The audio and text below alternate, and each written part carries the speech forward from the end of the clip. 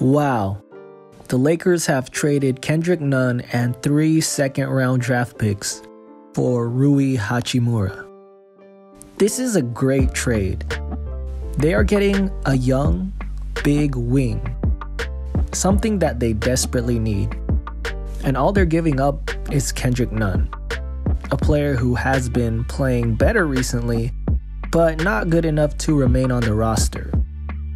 The biggest value they're giving up, of course, is the three second rounders.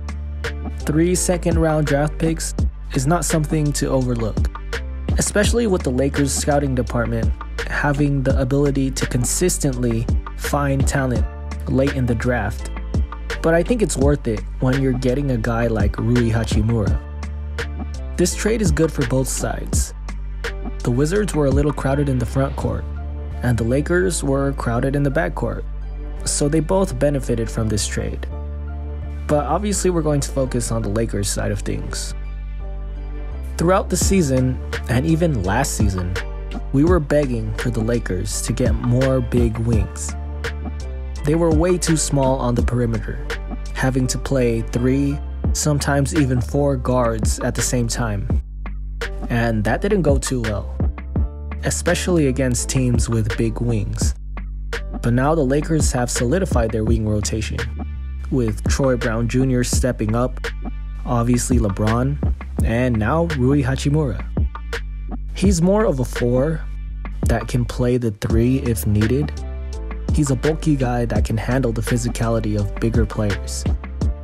I envision him having a role similar to Markieff Morris not the exact same player or archetype, but they play similar positions.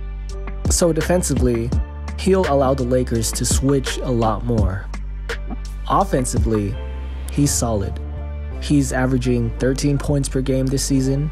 He's a decent three point shooter. This season, he's shooting 34%. Last season, he shot an insane 44%. So he's probably somewhere in between. He's averaging about 35% throughout his career. So he's shooting well enough for the defense to have to guard him from there, and therefore he can space the floor. But he's gonna get even better looks now that he's playing with LeBron and AD.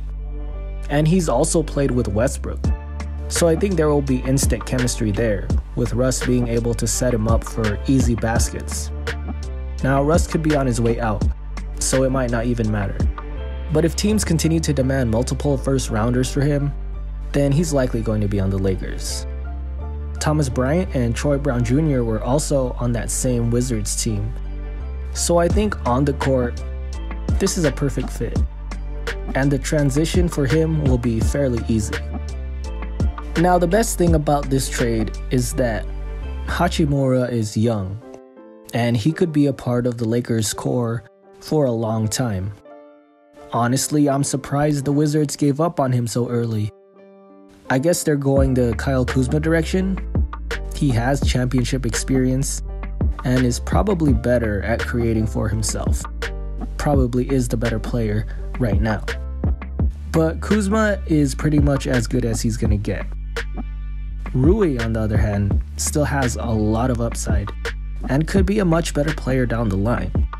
The Lakers are giving up quite a bit in draft capital, but they're getting back someone that could be a key piece for years to come.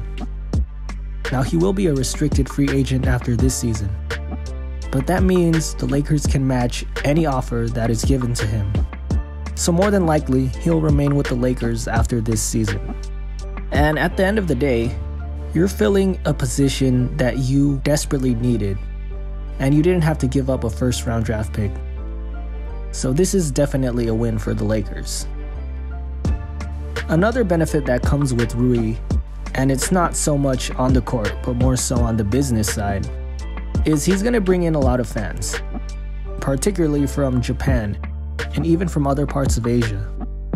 I'm sure the Lakers are going to sell a lot of Hachimura jerseys, and a lot more people are going to tune in to Laker games because of him.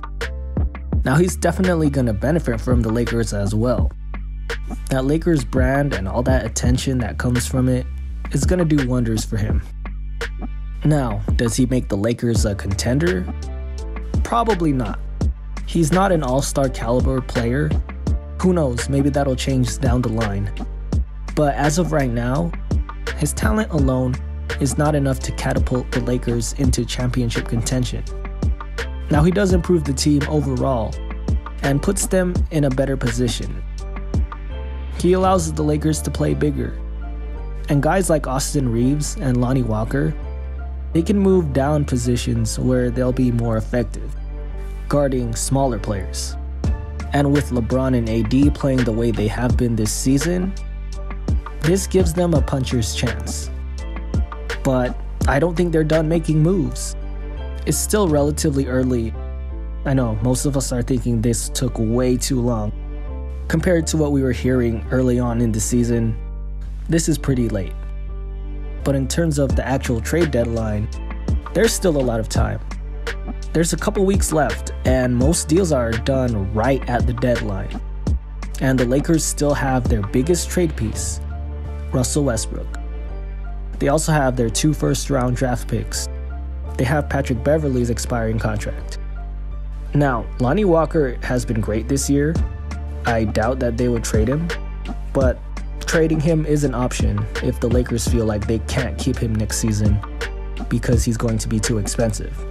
Similar to Malik Monk last year. But if the right deal comes along, maybe they do make a big trade with all these assets.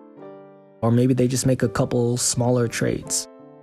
And when it's all said and done, who knows? Maybe the Lakers are contenders.